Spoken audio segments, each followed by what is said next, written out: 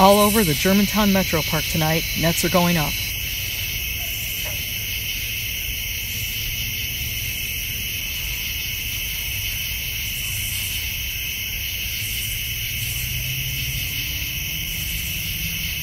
Welcome to the 2022 Ohio Bat Blitz.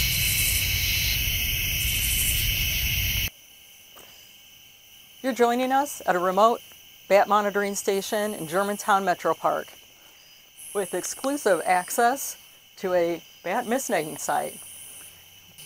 And we're here with Marlo Perdicas, a uh, park biologist.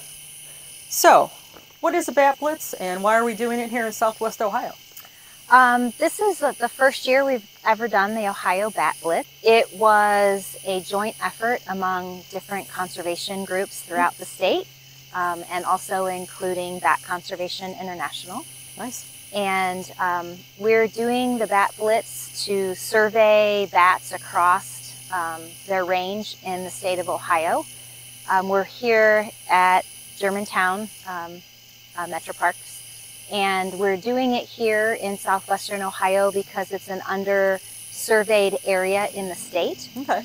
Um, surveys are conducted um, to study bats around uh, the country and in particular in Ohio we have a couple of bats that are federally listed species. Oh wow. And so um, there are park districts like Summit Metro Parks where I work where we survey for bats to better understand what bats we have um, okay. in what parks. Bat surveys are conducted for various reasons. Right. Um, but in general, southwestern Ohio is an undersurveyed area, so we decided to do our inaugural um, Ohio Bat Blitz down here. Nice, lucky us. Yeah. Can you explain bat mist netting and how it works? So this is a mist net. It's very difficult to see in the dark. Um, it's made of nylon mesh and the mesh has um, these trammel lines. There's five trammel lines in the net, and the net at the trammel line has a bag in it. Oh, wow. Um, we use this mist net system uh, near waterways, along trails, along right-of-way corridors. Um, we set them up using a pole and pulley system. Uh, we can stack the nets on top of each other to create the width and the height that we need. Uh, when we use a mist net, we try to close the corridor off so that we're kind of tricking the bats to fly into the net and get um, essentially tangled inside the net. Biologists that's permitted to handle bats can come and untangle the bat out of the net. And once they do that, then we can collect some biological data. Um, we do mist netting um, for a variety of reasons. Uh, we talked about the fact that we have some bats that are federally endangered species. And so it's important for us to know what bat species we have in our natural areas. Um, mist netting is a typical way to study bats in the summertime. Once we have those bats in hand, we can collect biological data. Um, we take some measurements, determine uh, their gender, what species of bat they are, um, but then we can also do some additional studies, so do um, some analyses on their guano. Um, we can apply transponders to the bats and then track their movements using radio telemetry. The MistNet is kind of the first step in studying the bat. Once we have the bat in hand, we can do some additional things. Interesting. We try to catch them in typical corridors where they fly. So perhaps down a stream corridor, or a trail in a park or even a right-of-way corridor. While we're waiting, what is a bat? A bat is a mammal. Um, it's the only mammal we have that's capable of true flight, which is a beautiful thing. Oh yeah. Um, I always wished I could fly, so I would love to be a bat. It's one of the reasons why I fell in love with them. Oh. Um, they give birth to live young. Um, they nurse their pups when they're born, um, and their pups drink milk. They're covered in fur. They're nighttime creatures. There are bats that pollinate too, aren't there? There are. So in warmer parts of our country and in other parts of the world, uh, we have bats that are pollinators, so they drink nectar, and in turn, as they visit flowers, um, they uh, pollinate plants.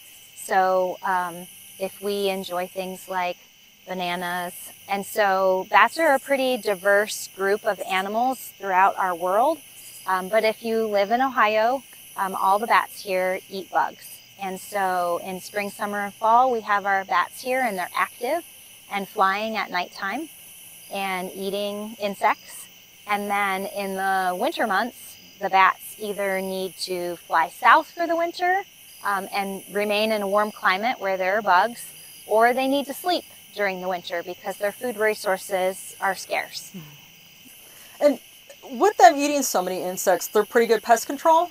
They can eat uh, 25% or more of their body weight wow. in bugs. We have some bat species that eat a lot of the pests that affect our crops. So helpful. Um, yes. so in particular, a very common bat that we have here in Ohio is called the big brown bat. Oh, all right. It is big, and it's one of the larger bats that we have in our state. And because they're a little bit bigger of a bat, they can eat larger prey items. Oh. And they eat a lot of the beetles, so they eat things that prey on our uh, crops, like corn and soybeans. So nice. Um, that's a really great reason to love bats. Yeah, yeah. Pretty helpful. Yeah. Okay. wow, so you got a bat. Can you walk us through what you're doing? Yeah, so we are going to um, take some biological measurements on our bat. And the first thing I always do is weigh the bat. I think we need a bigger scale because we're looking at big browns here and they're the larger species So you guys can help me do math.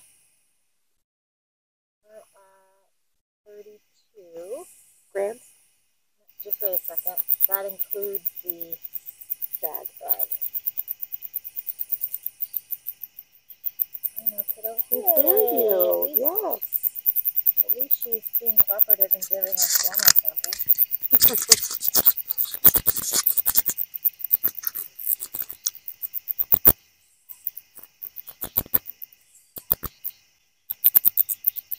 Inviting everything.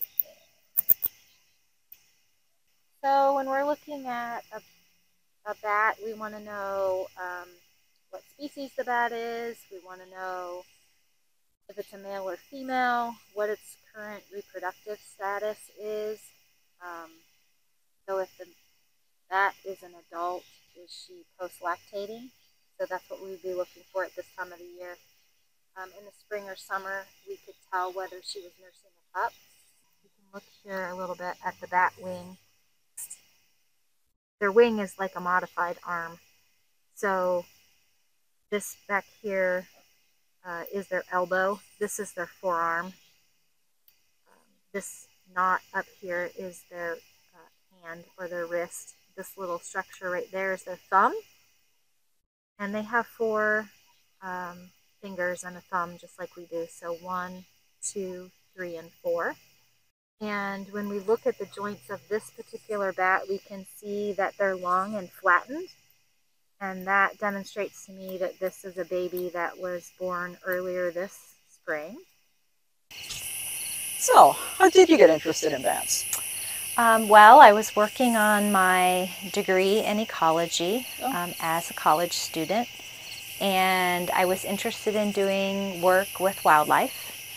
And so I found a local project. Um, oh, There was a local research project going on where they were studying bats in the Cottle wow. Valley National Park, um, which is close to where I live. okay. And I signed on as a volunteer Okay. and helped the first night and saw bats up close and I was hooked. Oh, neat. Yeah. Neat.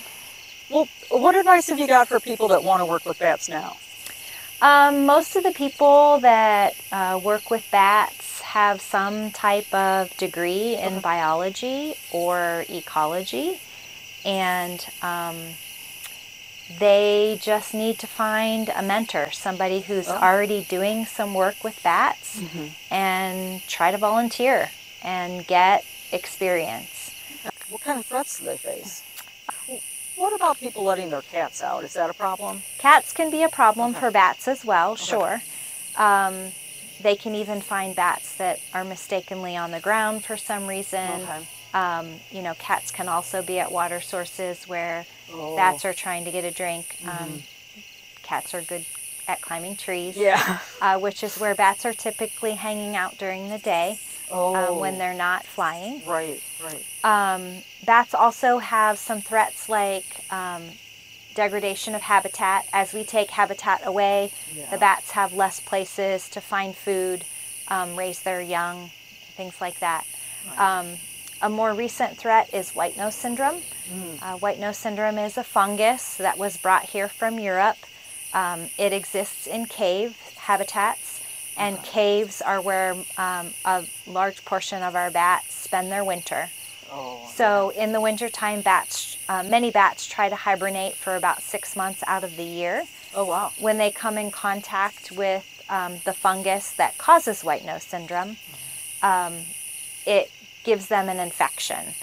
And um, during hibernation, bats have their immune systems slowed down, their metabolism slowed down so that they can exist for six months. They're trying to sleep out winter Right. and the lack of food resources that winter um, creates. Yeah. And so, because the bats get sick from white nose syndrome, they wake up and try to increase their metabolism and their immune system, Oh.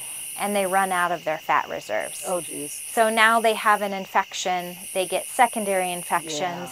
They don't have food or water to drink, and they become very ill and often will starve to death. Okay. And is that something that's spreading around the country? It is. It started in the northeastern part of the United States where it was introduced, and it's um, moving across the United States to the west. Are scientists working on that? They are. Um, it it's been around since about 2006, Okay. and so we've had a good amount of time for scientists to understand what it even was. Right. They're also working on ways to understand are these bats um, producing immunity to it. Uh, originally, when it came into the United States, um, in caves where it was found, it was killing 98 to 100 percent Oh of the bat populations that were hibernating in those caves. Wow. Um, so it's a very serious disease. Yeah. Um, we're seeing that there are some bats that are immune to um, or resistant to the fungus. Okay. Um, and so that's helping the bat populations. Um, there are some bat species that are hibernating farther south than Ohio, and so their hibernation period is shorter. Oh. Um, that's allowing the bats to get in and out of hibernation okay. before they succumb to white nose syndrome Right. um, there are some things that are helping and working, but we're facing the fact that many of our bat populations have decreased 80, 90, almost 100%. Wow. And so it's going to take a very long time for our bat species to recover. that are just at home. Is there something they can do to help bats? Sure. Um, it's really important for people who like and appreciate bats to tell other people about them. Oh yeah. Um, I've been doing bat mist netting demonstrations for 20 years. Oh, and geez. every time we have the public come out and visit and see bats up close, it gets people excited about bats. It makes them understand why they're important, that they're not as scary as all the myths that are out there.